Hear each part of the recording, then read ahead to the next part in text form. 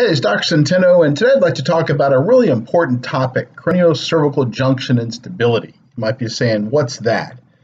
And this is the lecture that I gave in Clearwater, Florida, to the American Academy of Orthopedic Medicine. And I'm going to try to aim this somewhere between physicians, which is what uh, is down on these slides. And as I speak through the lecture slides, I'm also going to try to make this a little more patient friendly. Bottom line is, this is about a procedure that we developed that's really the first in the world of its kind to inject the alar and transverse ligaments, and I'll tell you what those are. So, from a 30,000 foot view, instability in the craniocervical junction or the upper cervical spine uh, is common when the ligaments are just stretched. It's not so common of a situation where the ligaments are actually busted. And regrettably, the surgeons in this area mostly focus on when the ligaments are totally busted, and that's a rare event. It's much more common that ligaments in this area are stretched and they're causing a lot of problems. And how did we get into all this? Basically, we had a patient that had, or sorry, we had a practice that had a lot of these patients we would do our traditional interventional workup and do some facet injections, and we'd go up to C2-3, which is the joint that's supposed to cause headaches. And some of them would get better, and some of them didn't get better. And then we would go to the next level, C1, 2, and C0, C1, and go higher in the neck. And again, uh, another segment of patients got better. And uh, we really became quite experienced in injecting the upper cervical spine.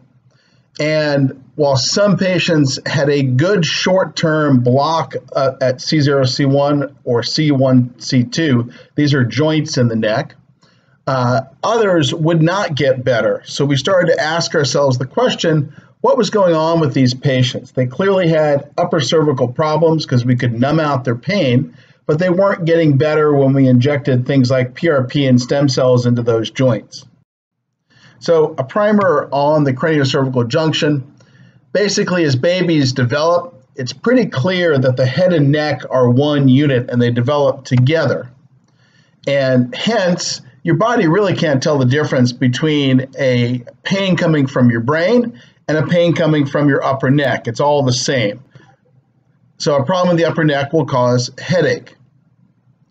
The upper neck is also very rich in position sensors, and all of that information is coordinated with information that comes in from the eyes and the inner ear.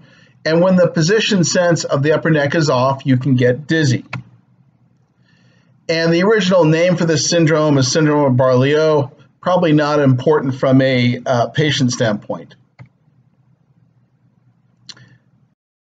So, bottom line is uh, when you try to provoke pain from the upper cervical joints, this is what it looks like. You tend to get pain referral patterns into the head.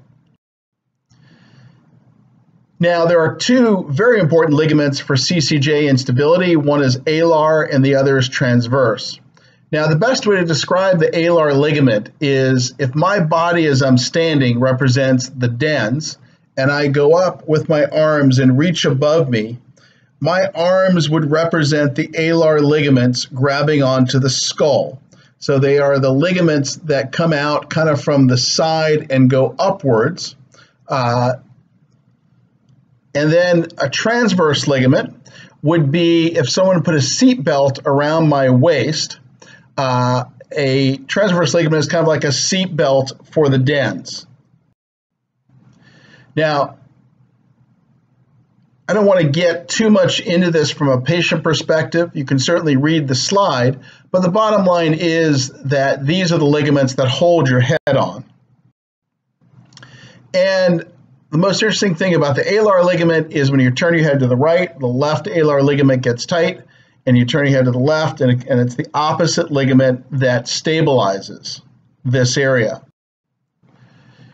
Transverse ligament, again, acts as like a seatbelt for the dens, so it's a pivot point. It, it secures that pivot point where 50% of all your cervical rotation occurs, uh, and that's at C1, C2.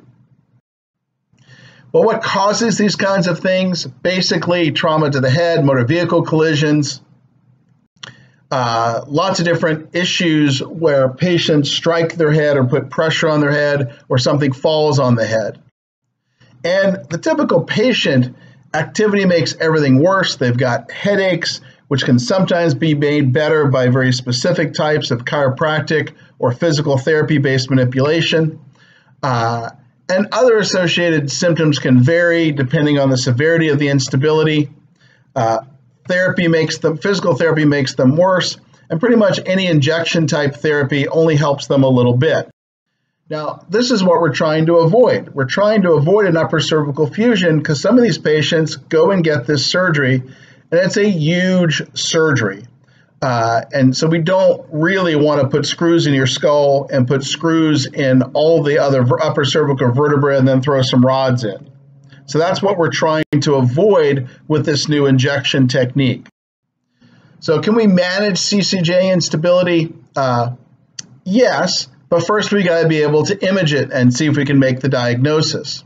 So that's through dynamic motion X-ray, rotatory CT, upper cervical MRI. A DMX is just a and open your mouth. That's perfect. That's perfect right ear to right the moving type X-ray allows us to see if these bones are aligned as you move, mostly the C1, C2 bone. Rotatory CT is a CAT scan where you turn your head, and the bottom line is that uh, some research has shown that this can also help make the diagnosis. MRI imaging has been interesting because some original studies uh, seem to show that this was a very good way to look for injured alar or transverse ligaments in the upper neck. The more recent research didn't support that as well, but it was really poorly done. So the research that's well done, the early research, uh, really seems to support that MRI probably has a role in looking for these damaged ligaments. Traditional prolotherapy, which is ligament injections for this kind of problem, really have not been all that promising because the bottom line is that you can't get to the ligaments you're trying to treat. So, how do we get to these ligaments? About a year and a half, two years ago, I started to noodle this, this problem, and I finally recognized that there was a little gap in the front of the C1, C2 articulation. So this is this model that I was looking at uh, in the office, and you can see what I call an articular gap, a little hole between the C1 and C2 bones from the front. And if I went through that gap, I could get into the alar and transverse ligaments directly without going through the spinal cord, which is in the back. So uh, this is an injection from the front. From the side, this is what it looks like as well. One of the issues was that the tongue needs to be depressed because it's in the way, and this is an injection that goes through the back of the throat to get to these uh, ligaments. This is the device that we ended up using. It works very well to keep the tongue out of the way. And bottom line is that this is uh, this this is where we place the needle in the back of the throat area. In addition, uh, this is not the kind of procedure that should be done by someone who doesn't have massive amounts of experience in injecting the upper cervical spine. It can't be done under ultrasound, only X-ray imaging, and definitely shouldn't be done by by a uh, naturopath. It's got to be done by an MD or DO. It's an anesthesia only procedure. We use some very special things to accomplish this. And this is what it looks like. This is a uh, just a 25 gauge needle, a very thin needle. The patient uh, is under uh, IV access anesthesia here, so they're asleep. Uh, and uh, we're placing the needle under x-ray guidance in this picture. I use a little device that allows me to see the back of the throat and where I'm uh, placing the needle. And this is what it looks like on an x-ray picture. And these are some additional x-ray pictures showing uh, this, in this case, some uh, injection into the C1-C2 joint, which I don't want. And in this case, a perfect alar ligament injection, or in this case, a perfect transverse ligament injection. Bottom line is, of the first 10 injections we did in seven patients, five of them responded really well after really responding to nothing else that we had done for these patients. And some of these things were quite remarkable. We had a patient who went uh, backpacking and hiking, and that would have been impossible for this woman because I treated her for 10 years uh, prior to this. Uh, another woman who was able to go cross country skiing and who could now sit through meetings where she couldn't do that before. Uh, of the two patients who didn't respond as well, one of them had a suboptimal injection, and the other really had another problem, and he had a poor workup. And uh, so we believe that he was inappropriate for this procedure. So, in summary, injecting these lig- ligaments is possible, it can be performed, it appears to be safe. The results are very promising, and we're going to now move into more research based mode to try and quantify these results. And please don't try this at home. This is a complex, high level interventional procedure that can only be done by a handful of very highly trained physicians in the United States. So, thank you so much, and I really appreciate you listening uh, to this lecture about a very unique, novel, first of its kind uh, way to inject these problematic ligaments.